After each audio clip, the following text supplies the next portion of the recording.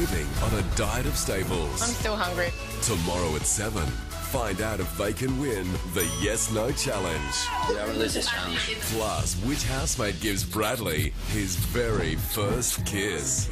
Then, Sunday 6.30, the big brother romance is finally over. Will your favourite be the one to go? The next live eviction, Sunday 6.30 on 9.